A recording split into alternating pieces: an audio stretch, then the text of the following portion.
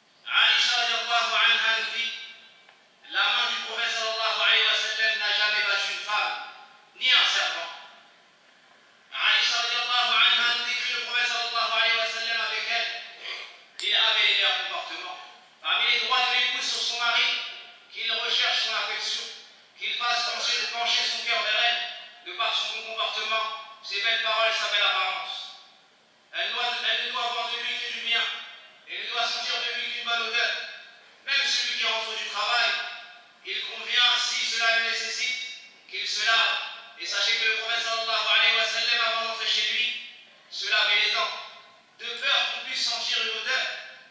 Alors